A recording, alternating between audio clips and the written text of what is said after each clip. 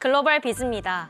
오늘은 러시아에 벌금을 낸 애플과 구조조정하는 알파벳 연구개발 부서 X, 유니콘 기업으로 부상한 11랩스 소식입니다.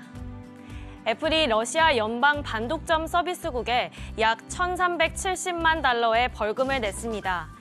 로이터 통신에 따르면 해당 벌금은 애플이 인앱 결제와 관련해 모바일 앱 시장에서의 독점적 지위를 남용해 러시아의 독점 금지법을 위반한 혐의로 부과되었습니다. 2023년 2월에도 애플은 반독점 관련 혐의로 약 1,210만 달러의 벌금을 러시아에 지불한 적이 있는데요.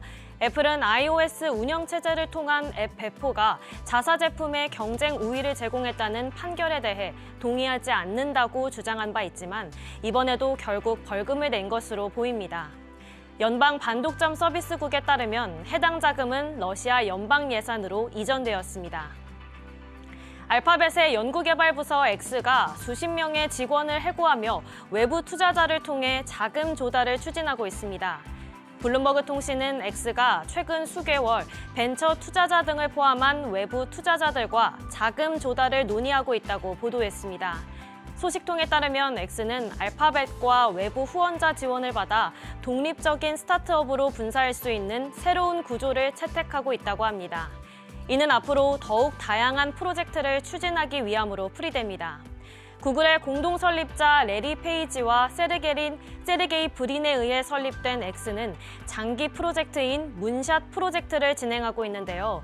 그러나 최근 몇 년 동안 X는 수익성 있는 사업을 추진해야 한다는 압박을 받았고 이로 인해 구조조정에 나선 것으로 보입니다.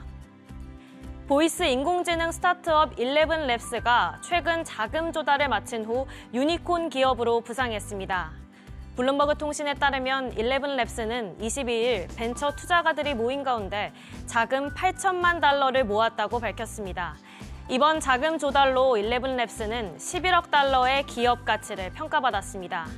11랩스는 인공지능 소프트웨어를 사용해 20개 이상의 언어로 음성을 복제하는 스타트업인데요.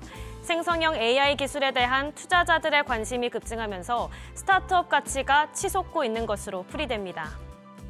일본 최대 배터리 업체이자 테슬라의 배터리 공급 업체인 파나소닉이 미국 배터리 공장 건설 연기를 시사했습니다. 글로벌 전기차 판매 둔화 우려가 커지는 가운데 나온 발표인데요. 현지 시간 22일 로이터 통신에 따르면 파나소닉 최고 경영자 구스미 유키는 3공장 설립을 결정하기 전에 생산성을 높이는 것에 초점을 맞출 것이라고 밝혔습니다. 파나소닉은 원래 이번 회계 연도가 끝나는 3월까지 공장 위치를 공개할 예정이었는데요.